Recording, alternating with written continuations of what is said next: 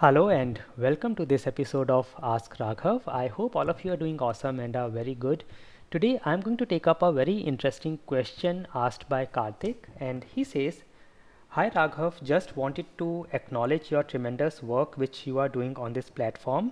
Keep up the great work. Your videos will certainly give a lot of confidence to all those who want to reach heights in their career.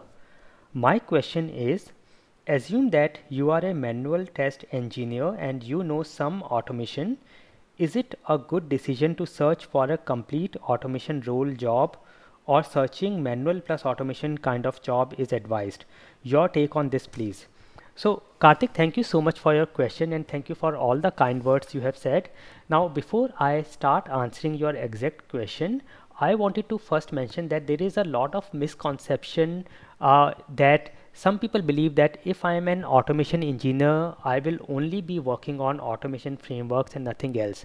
Now, this may or may not be the case. There are organizations where there are different teams for automation testing and uh, functional testing, and the automation QA team or automation testing team is only responsible for creating automation frameworks and maintaining them whereas the QA team takes care of creating the test cases running them finding issues logging bugs and uh, following up with the dev team and the following up with the bugs and all those things. However there are organizations where a automation QA team takes care of automation frameworks and maintenance. Along with that they also create automation tests runs them uh, finds the issues, logs the issues, follow up and all those kind of things.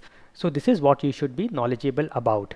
Now with your experience of manual or functional I would say and then also for some automation, I will suggest that in your resume you mention all the skills you know and then apply for relevant jobs both in automation and the functional testing requirements and then from wherever you get a call you go and show up and get the interview done and then once you know what exactly is the job about whether it is completely automation or automation plus manual you can take a call.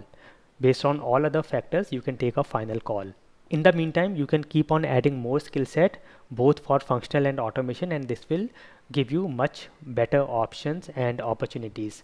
I hope this will help you and if you have any other question for the next episode of ask raghav please let me know in the comment section below and i will see you next week. Thank you for watching and never stop learning